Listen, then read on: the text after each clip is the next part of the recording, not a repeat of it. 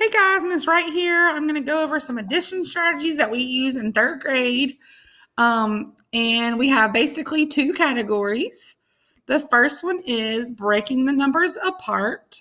And we have kind of two options with breaking the numbers apart. You can either add by place value or you can add one number in parts.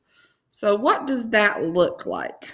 I'm going to show you what those look like with the same equation 349 plus 175. A is breaking the numbers apart by place value. I can either do this vertically or horizontally.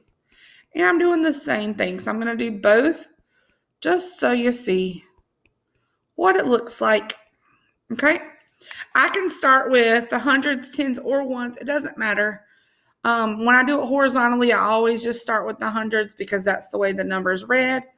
349 plus 175.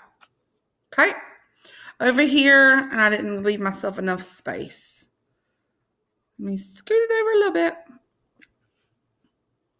Over here, I'm going to do the same thing. I'm just doing vertically. Okay. So 300 plus 100 is 400. 40 plus 70 is 110. 9 plus 5 is 14. Down below, I'm still writing horizontally 400, and I'm putting all of my sums together. All this in one equation. 400 plus 110 plus 14. I total 500 10 and 10 is 20. And then I only have four left. 524. What that looks like in vertical, breaking apart by place value.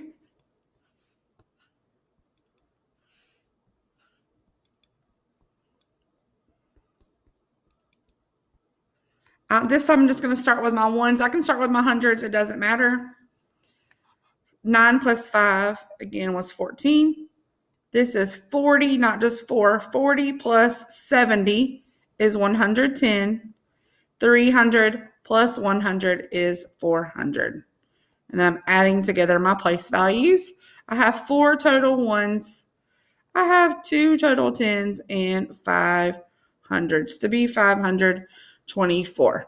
That is the first of breaking apart the numbers, either adding by place and now adding one number in parts. So this is adding one number in parts. Same equation. I'm going to start with 349 and I'm going to add this number in pieces, right?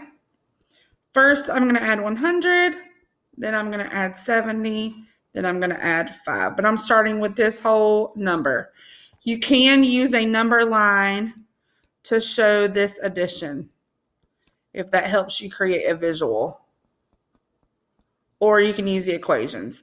349 plus 100 gets me to 449. Add 70, I can make one big jump, or I can do small parts counting up from 40. That's going to get me to 519 and then 519 plus 5. I can count up from 19 to get 524. There is strategy B, which is adding one number in parts. You keep this whole first number the same and you add the other one in parts. And your adding by parts could be different. You can add in smaller pieces. You don't just have to do the hundreds, tens, ones like that. And then the last strategy is changing the number to make it easier. So I'm going to show that in a separate video because I only have five minutes of screencasting. So I'm going to go back and show this second strategy in a second video. Hope this helped you.